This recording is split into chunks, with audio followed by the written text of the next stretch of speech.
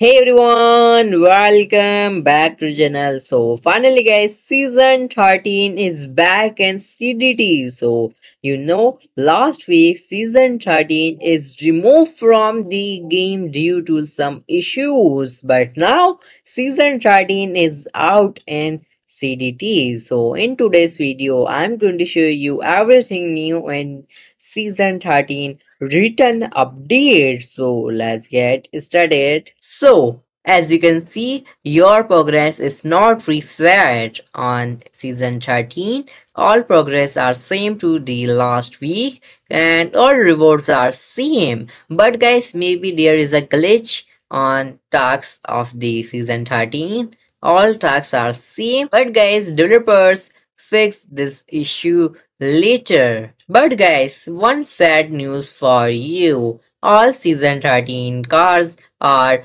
remodeled and all s13 cars names are changed. And guys developer add 2x event for two days.